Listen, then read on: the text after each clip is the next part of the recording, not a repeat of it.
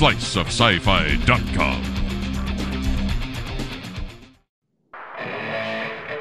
Put on your thinking caps, kids, and play along with the gang. Hey, it's trivia time! Well, hello, Slicers. It's Curtin St. George here. As I grew up, I watched way too much television, and I only lived about a block away from an independent movie theater where every weekend I could see all kinds of trashy films. So over the years, I have amassed a huge quantity of geek knowledge of bad films. You may wonder how you too can gain this knowledge without wasting as much time as I did. Well, there are some shortcuts you can take so I'm going to play you a few clips from some of these shortcut films. Here's the first one now. Then as now, a lot of people dismiss his films as low budget trash. So what?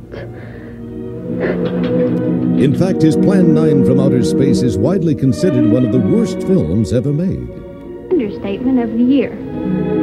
But all of his films are hysterically serious and madly autobiographical. One is always considered mad one discovers something that others cannot grasp.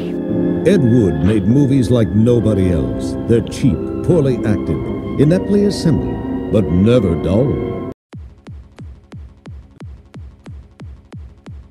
That was Gary Owens as a narrator in a documentary about Ed Woods Jr. entitled Ed Wood: Look Back in Angora from 1994. I can remember growing up in Los Angeles and watching a lot of odd movies on Channel 58, a UHF station, and catching Glen or Glenda, Ed's uh, semi autobiographical film about himself uh, being a transvestite. And I remember thinking, what the hell is this? It was kind of like watching a train wreck in slow motion. It was really bizarre, badly made, badly acted, but you couldn't stop watching it. Fortunately, you don't have to watch all of Ed's films. You can learn about him in this uh, one hour documentary. Here's the next shortcut. I saw that we could create a world around the concept of midnight.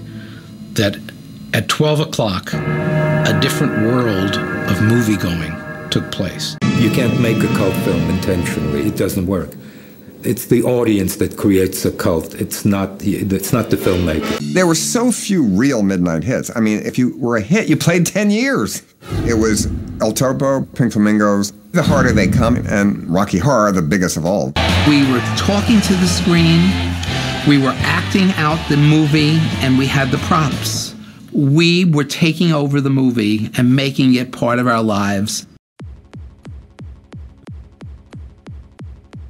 You heard several people in that clip, including director John Waters, director of Pink Flamingos and many other films, in a documentary called Midnight Movies From the Margin to the Mainstream from 2005. And this documentary claims that six low budget films, which came out between 1970 and 77, which were shown generally only at midnight, transform the way films are made and watched. Get ready, here comes our final trivia shortcut of the day. Moviegoers were not used to seeing women doing action at all.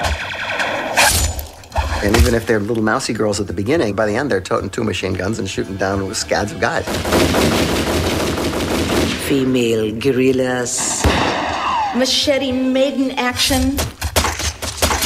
I asked the Army to supply me with three helicopter gunships to be there at nine in the morning, and the captain in charge said, I apologize for being late, but we were 100 miles north strafing and bombing rebels. We will now change to blank ammunition. Excellent idea, I thought. What sold the Blood Island movies to American audiences was the blood, breasts, and beasts. The three B's.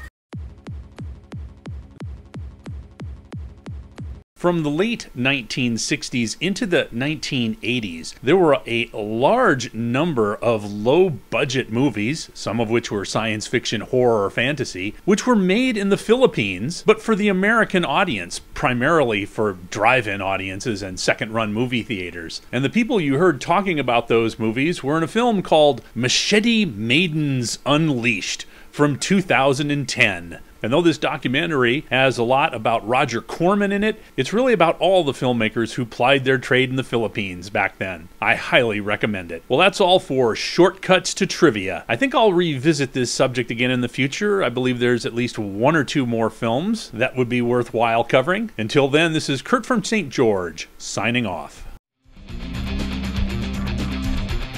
Sliceofscifi.com